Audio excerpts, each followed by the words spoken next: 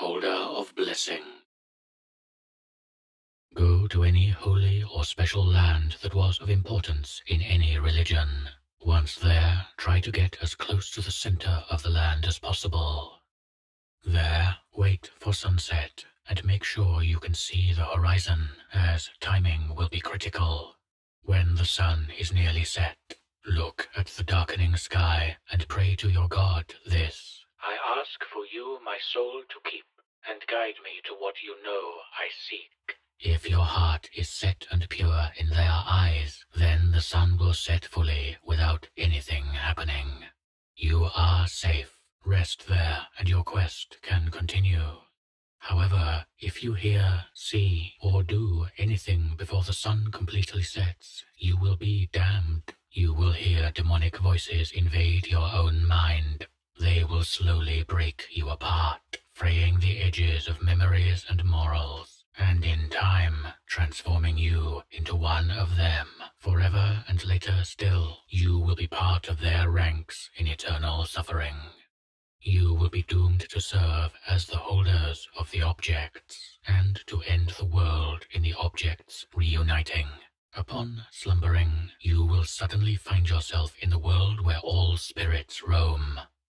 You will be able to traverse in limbo if you so wish. You will confront demons and meet angels alike. However, time here must be cherished. A deity will approach you once you depart this place. He will greet you by name, smile, and you will be content. Doubt your emotions. Do not be fooled. This is the holder of blessing. He is a deceitful and horrible spirit that decides who and when in the mortal world will receive luck, blessing, or wellness, and also decides when such is withheld. After introductions and his seduction, he will tell you to give in to his eyes. Do so, and he will show you yourself in the real world. You will watch as your sleeping form lies there, and twisted looking creatures never to be seen by mortal eyes rip you apart, bloody tendon to bloody ligament. Your mind will try to work against you, and the pain will be felt fully.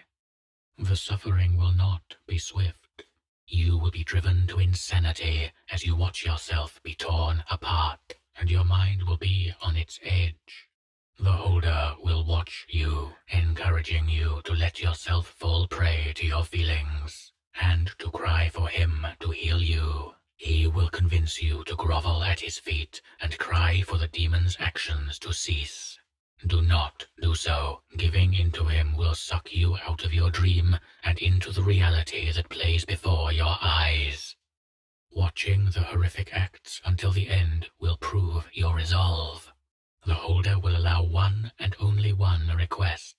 It is possible to ask for the secrets of the universe, or a way to marry whom you are attracted to. Do not stray from your path, or you will lose any chance of obtaining this object forever. Ask him, Why do you forsake us of blessing? At this time, you will lose your sanity if you show or think anything negative. If you keep resolve in your mind, the holder will reveal his true form, a nightmarish creature made of every evil power, curse, and appendages you could not imagine. He will describe to you every time someone has been cursed, damned, and defiled, every reason someone was sent to hell, and every reason someone has felt forsaken, the effect of every wrong ever done, and the cost of bringing about good. Will tell you what will happen if you fail to complete this trial in horrendous detail. The pain and suffering that enters your mind will make you wish you had given in to the beasts before.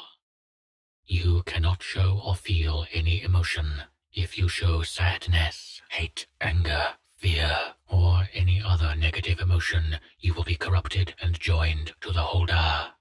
Forever feeling every pain the beast is made of, and every pain the other holders deliver and feel.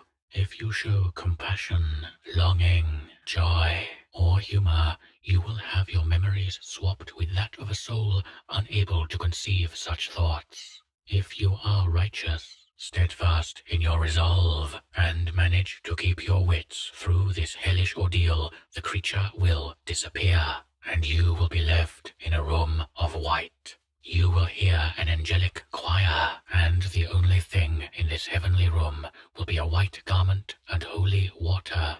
These items contain the power to banish all evil ever experienced by one person. One time, put the garment on and read the book. Every horrible feeling or evil thing you've ever experienced will be banished from you, and the effects left on your mind from this trial will be cured. After this, a door will appear. Exit, and you will awake at daybreak where you fell asleep, knowing that now you carry a blessing. From now on, every kind act you do for another will be multiplied in its effect. But you will also feel the repercussions of any act of selfishness, greed, or such, and how its effect is spread. You can now choose to aid seekers or live the rest of your life how you wish. No one would think any less of you for doing so either. Just remember that wherever you go, you now decide who to bless with your aid and who to leave to the whim of the world. You will now find the garment, damp from holy water, lying in front of the entrance in whatever place you call home. This garment is object 2000 of 2538. Carry the memory of the cost high on your shoulders.